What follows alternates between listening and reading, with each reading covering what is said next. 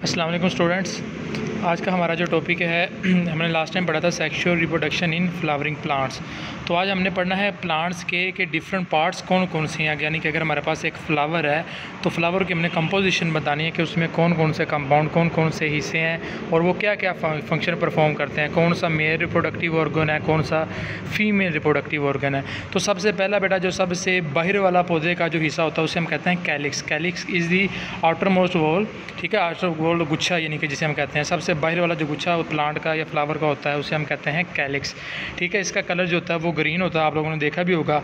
तो इसका जो यूनिट होता है, वो सैपल्स होते हैं। ठीक है, इसके जो छोटे छोटे यूनिट्स होते हैं, इनको हम क्या कहते हैं? सैपल्स कहते हैं। तो बेटा, ये एम में आपसे पूछा जा सकता है कि बताएँ कैलिक्स का सब यूनिट क्या है? तो आपने बताना है sepals sepal protect the inner walls at bird stage ठीक है सैपल्स का काम क्या है? वो प्रोटेक्ट करते हैं गुच्छे को corolla is the next inner wall and is after colour bright ठीक है? उसे जो अगला पार्ट है कैलिक्स से जो अगला पार्ट है उसे हम कहते हैं करोला तो करोला इनर साइड पे होता है, ठीक है? और ये ब्राइट कलर का होता है। तो इसके यूनिट्स को हम कहते हैं पेटल्स तो बेटा ये भी एम में पूछा जा सकता है कि करोला का सब यूनिट क्या है? तो आपने बताना है पेटल्स उसके बाद they serve to attract bees birds E T C which are the agents of pollination तो बेटा पेटल्स का काम क्या है? ये क्या करते हैं? बीज बर्ड्स वगैरह को क्या करते हैं? अपनी तरफ़ अट्रैक्ट करते हैं ताकि पोलिनेशन कर सकें। ठीक है? पोलिनेशन का हमने पढ़ा था। यानी कि प्लांट्स का, यानी कि एक जो ग्रेन्स होते हैं उनका एक जगह से दूसरी जगह जाने के अमल को हम कहते हैं पोलिनेशन तो अब बेटा यहाँ पर कैलिक्स और करोला का फ़ंक्शन क्या है और उसके यूनिट्स क्या हैं? ये शॉर्ट क्वेश्चन और एम में आपसे पूछे जा सकते हैं।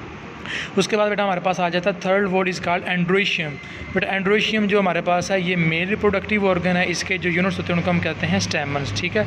तो स्टेमन्स के अंदर थ्रेड लाइक फिलामेंट ज़रूर मौजूद होता है, जिसे हम कहते हैं एंथर अब यहाँ पर आप लोग ये देख लें, ये आपको स्ट्रक्चर नज़र आ रही होगी यहाँ पर ठीक है तो ये जो पेटल्स हैं ये जो प्लांट्स की जो पत्तियाँ होती हैं ना, गुलाब के फ्लावर की या किसी भी फ्लावर की, उसकी पत्तियों को हम क्या कहते हैं?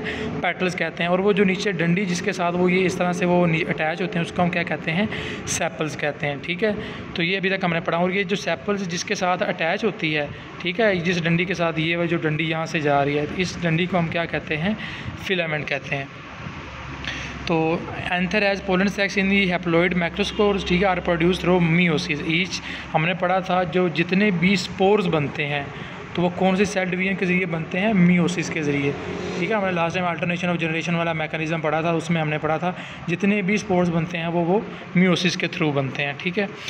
During it, nucleus of microscope undergo microscope and germinates into male reproductive gametophyte generation.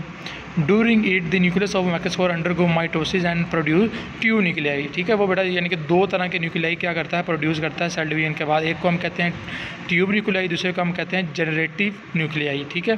तो जो जनरेटिव न्यूक्लियाई का मतलब है ये फर्दर यानी कि आगे डिवाइड होगा ठीक है? माइटोसिस के ज़रिए और भी क्या करेगा? स्पर्म रिलीज़ करेगा।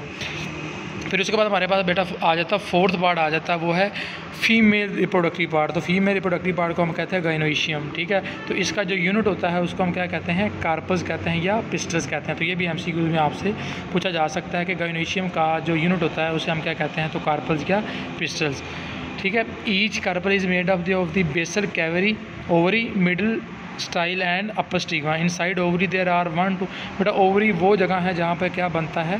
फ्रूट बनता है। ओवरी फीमेल रिप्रोडक्टिव पार्ट का वो हिस्सा है जहाँ पे क्या बनता है? फ्रूट बनता है। तो ये बेटा, आप लोग ये पैराग्राफ पढ़ लीजिएगा। इसमें इन्होंने यही बताया हुआ है। सबसे यानी कि जो बाहर वाली प्लांट की जो नीचे वाली जो बेस होती है, उसको हम कहते हैं सैपल्स जो इसके ये, जो आपको ये पेटल्स ये पत्तियाँ होती हैं, गुलाब के फूल या किसी भी फूल की, उसको हम कहते हैं पेटल्स कहते हैं। और इसके अलावा जो हमारे पास है ये जो हमारे पास कार्पल्स हैं या ये स्टिग्मा हो गया स्टाइल हो गया या ओवरी होगी, इन तीनों को बेसिकली हम क्या पढ़ते हैं? कार्पल पढ़ते हैं। तो ये सारी की सारी चीज़ें आपने जेन में रखी हैं। आप लोगों से एम में पूछा जा सकता है कि बताएँ, इनमें से कौन सा पार्ट कार्पल का हिस्सा है? तो स्टिग्मा भी है स्टाइल भी है और ओवरी भी है। ठीक है? तो ये आपने चीज़ें जेन में रखनी। उसके बाद बेटा when pollen grains mature they are transfer to stigma ठीक है? जब वो मेच्योर हो जाते हैं पोलन ग्रेन वो स्टिग्मा पे चले जाते हैं तो इस अमल को हम क्या कहते हैं? पोलिनेशन कहते हैं। ठीक है तो इस अमल को हम क्या कहते हैं? Pollination on reaching the stigma the tube nuclei pollen grain consists of pollen tube तो यहाँ पे बेटा ना, ये हमारे पास ना, यहाँ पे एक शॉर्ट क्वेश्चन आता है डबल फर्टिलाइजेशन किसे कहते हैं? शॉर्ट क्वेश्चन में आता है डबल फर्टिलाइजेशन क्या है और एंडोस्पर्म न्यूक्लियस क्या होता है? तो इसको हम देखते हैं।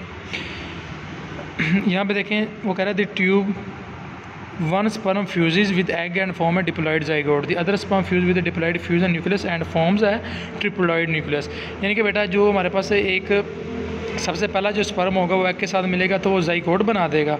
जो वो जाइकोड है, वो दोबारा न्यूक्लियस के साथ मिलेगा तो वो क्या बना देगा? ट्रिप्लोइड न्यूक्लियस बना देगा। तो इस अमल को हम क्या कहते हैं? एंडोस्पर्म न्यूक्लियस कहते हैं। Since the fertilization process of fertilization involve two fusion ठीक है? यानी कि दो तरह की फ्यूजन होती हैं। यानी कि सबसे पहले मेल और फीमेल यानी कि एग और जाइकोड यानी कि एग और स्पर्म मिलते हैं तो जाइकोड बन जाता है। तो जाइकोड आगे जाके फर्दर क्या होता है? उसकी फ्यूजन होती है, जिसके नतीजे में एंडोस्पर्म न्यूक्लियस बनता है। तो इस सारे के सारे प्रोसीजर को हम क्या कहते हैं? डबल फर्टिलाइजेशन तो ये डबल फर्टिलाइजेशन वाला आप लोगों से शॉर्ट क्वेश्चन में पूछा जा सकता है और ये बोर्ड में आया भी हुआ है तो इसलिए ये इंपॉर्टेंट शॉर्ट क्वेश्चन है, इसको अंडरलाइन कर लें आप लोग।